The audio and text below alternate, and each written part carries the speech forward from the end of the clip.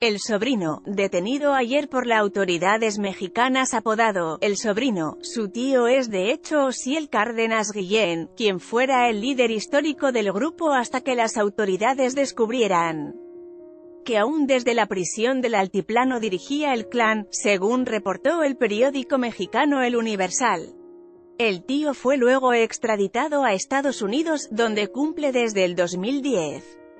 una condena de 25 años de prisión. El sobrino, también llamado el comandante Cortés, y el contador, quedó desde entonces en medio de una violenta disputa interna por el liderazgo del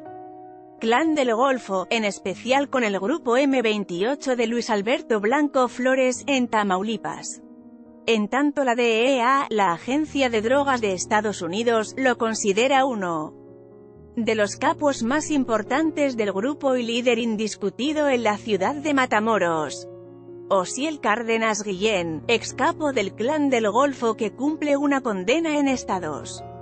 Unidos y es tío de José Alfredo Cárdenas Martínez en tanto el estado de Tamaulipas, en el noreste del país, es una de las regiones más afectadas por la violencia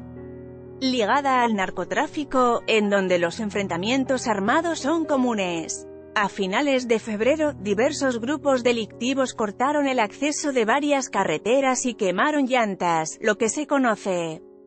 como narcobloqueos. México, sacudido por una creciente ola de violencia, cerró 2017 con 25.339 asesinatos, la cifra más alta desde que empezó el registro en 1997, según fuentes oficiales.